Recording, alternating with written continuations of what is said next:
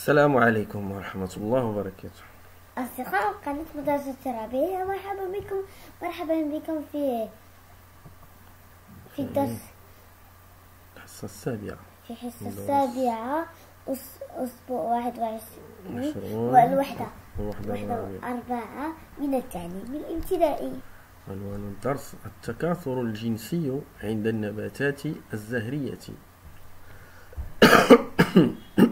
reproduction c'est sexuée chez les plantes à fleurs الهدف اكتشف التكاثر الجنسي عند النباتات الزهرية L'objectif Je découvre la multiplication sexuée chez les plantes à fleurs أولا ألاحظ أثناء تجوالها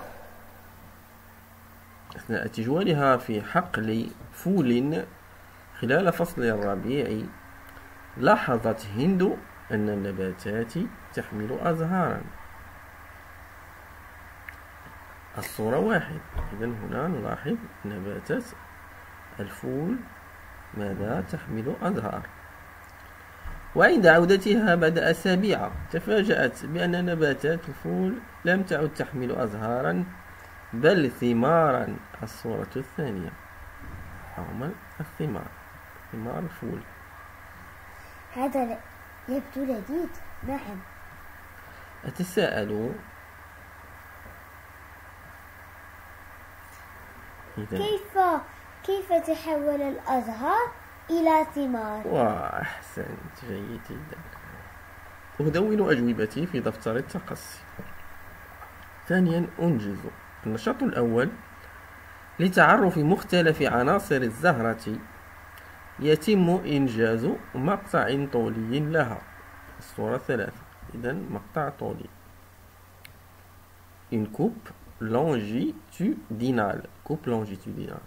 يعني نأخذ زهرة ونقوم بقطعها بسكين ثم نلاحظ نصفها. لدينا سبلات بتلات les pétales بتلات يا بتلات pétales. مدقة سدات سبلات. ما تنشوفوهم لتحت. إذا كان هاي بتلات بيطال سبلات سبال. ألف. تمت ملاحظة كل من السادات. الصورة أربعة. هذه السادات. ها؟ ومقطع مبيض لزهرة. الصورة خمسة. مقطع مبيض لزهرة. أكتب كل اسم في مكانه من بين الأسماء الآتية. لدينا بويضات. هذه بيضات خيايط حبوب اللقاح. حبوب اللقاح. مبيض. مبيض. إذا عندنا كم من سهم. واحد اثنان ثلاثة أربعة. ما هذه إذا هذه حبوب اللقاح. أحسنت حبوب اللقاح. هذا؟ الحو الحل الحيط خييط. خو خييط. الخييط. وهذا؟ بويضات. لا. لا. أتك. المبيض. المبيض يحتوي على؟ بويضات. فويضات أحسنت. باء أحدد من بين العضوين أيهما يمثل. يمثل العضو الذكري للزهرة. آه، صورة أربعة. أحسنت. العضو الأنثوي للزهرة. الصورة خمسة صورة خمسة إذا لأن هادو حبوب اللقاح. إنها مثل الحيوان المنوية. إنها. مثل الحيوانات المنوية والبويضات لل والب... إذا ماذا نستنتج؟ انظر. أربعة. تلك الصورة أربعة. هي السادات. ياك؟ سادات. السادات. إذن السادات هي هذه. إذا هذا هو. هو العضو التناسلي الذكري للزهرة. والصورة ثمانية. اش فيها؟ المدقة مبيض لا مبيض للزهرة المدقة المدقة آه. رأيت آه مدقة هذه المدقة هي العضو التناسلي الأنثوي ل آه الزهرة. عفوا. يعني الأنثى هي ذكر وأنثى. الزهرة هي ذكر وأنثى في نفس الوقت. جيم. أصنف عناصر الزهرة داخل الجدول الآتي. أعضاء وقائية أعضاء توالدية. إذا هنا انظر. بتلات مدقة سدات سبلات. حبوب اللقاح خييط مبيض أفهم هاد- جيدا إذا هاد هاد الكلمات هذه هاد الأسماء هذه يجب أن نضعها في هذا الجدول. أعضاء وقائية. ماذا يعني؟ وقائية يعني تقي تقي يعني تقي يعني تحمي أ الزهرة لحماية الزهرة والحماية هذاك ال- الجهاز التوالد التناسلي ديالها. وأعضاء توالدية إذا أين هي؟ الأعضاء الوقائية هنا. البتلات هل هي من الأعضاء الوقائية أم من التوالدية نعم. المدقة. لا. من ماذا؟ انظر. بتلات وقائية. مدقة. توالدية. سدات توالدية. سبلات. آه، وقائية. وقائية. وهادو تا هما كاملين توالدية نعم. حبوب اللقاح خييط مبيض وبويضات إذا سبلات. سبالة سيبالي سيبال سيبالي حبوب اللقاح Grain de pollen غراند دو بولين تكاثر جنسي Multipla- Multiplication Séquillé سكسيي سكسيي بتلات Pétale قطع إذا النشاط الثاني تبين الوثيقة ستة عملية الأبر ودور النخلة, النحلة في ذلك. تبين الوثيقة ستة عملية الأبر ودور النحلة في ذلك. ألف ما دور النحلة؟ النحلة النحلة دور النحلة هي انظر النحلة تنتقل من زهرة إلى أخرى. تأخذ حبوب اللقاح. لأ- لأن عندما تأخذ الحبوب هي التي تح- تحط الحبوب اللقاح نعم. عند البويضة. أحسنت إذا تقوم بتلقيح آ- الأزهار. بعد هذه العملية تعطي الزهرة ثمرة بداخلها بذور كما هو مبين في الصور سبعة ثمانية وتسعة. الآن سبعة ثمانية تسعة. لم أفهم هل هناك هل حبوب من من هذا يعطينا حبوب؟ بذور يعطينا بذور. بذور بذور بيضات بيضاء هل يعطينا دائما بذور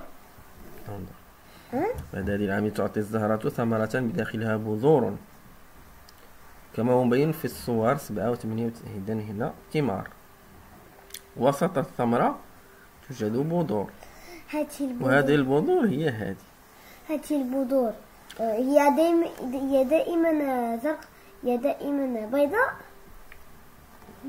تقريبا. أو خضراء تميل إلى ال... هل بو هل البويضات خضراء تعطي نباتات؟ تعطي ثمار انظر انظر باء ما مصير البويضات بعد عملية الأبر؟ البويضات ما مصيرها بعد عملية الأبر.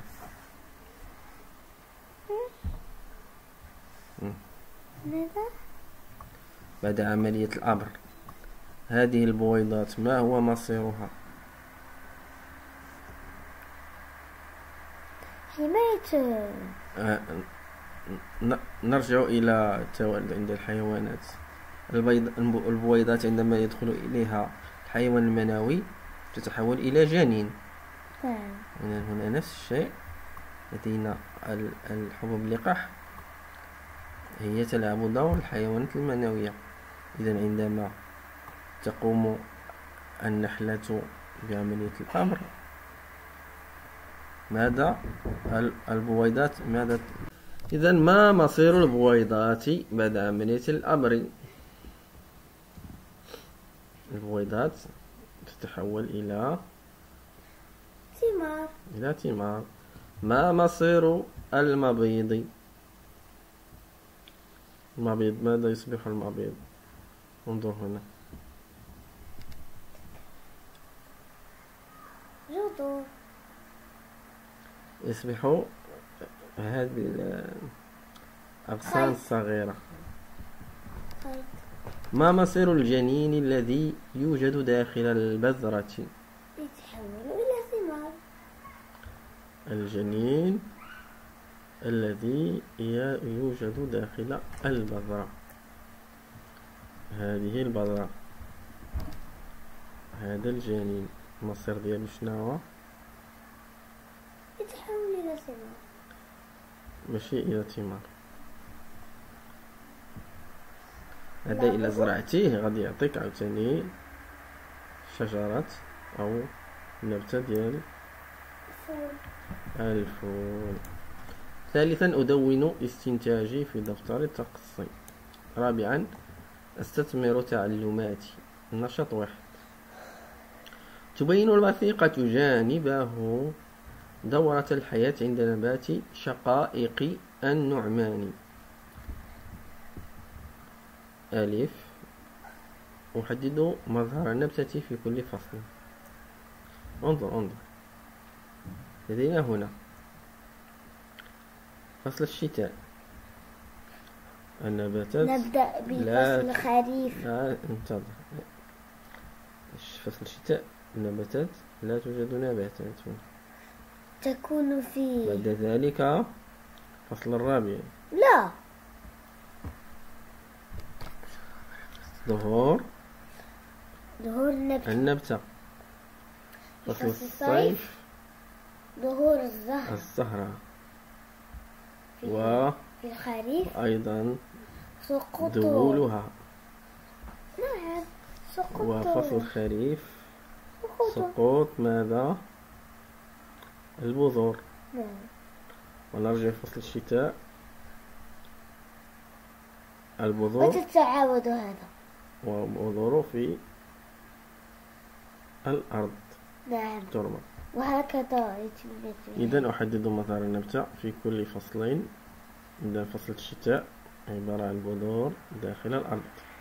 فصل الربيع عبارة عن نبتة. فصل الصيف عبارة عن زهرة. وفي فصل الخريف تبذل الزهرة وتسقط البذور. باء أحدد دور كل من الزهرة والبذرة. الزهرة ماذا تقوم بالزهرة ها؟ الزهرة الزهرة هي التي تعطينا البذور نعم والبذور هي التي تعطينا زهرة تعطينا النبات ولا زهرة تعطينا شجرة Activité 2. Je complète les phrases par les mots suivants. Les étamines, graines, la pollinisation.